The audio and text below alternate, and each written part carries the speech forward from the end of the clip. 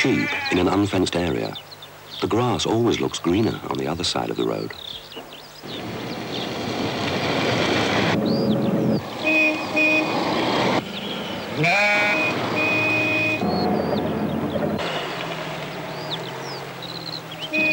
Sheep are a farmer's livelihood, so please, drive slowly and watch out.